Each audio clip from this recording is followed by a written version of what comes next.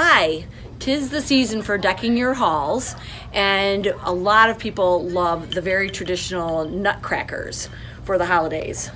So they, the, I don't, I think these are decorative, but the old ones, you'd put a nut in their mouth and you would crunch it and it would break the nut and open the nut. So that's why they're called nutcrackers. So we have a great selection of both the traditional German nutcrackers and then these really great ones. These are from Kurt Adler and they're all designed by Holly Adler, so they're called the Hollywood series. And we have, oh, 45 or 50 different ones. We only get one each of the nutcrackers, so you are sure that whichever one you choose, it will be the only one in your neighborhood. And also, you'll want to come in right away and get the best selection. So stop in, grab a nutcracker, deck your halls, and happy holidays from the Bruce Company.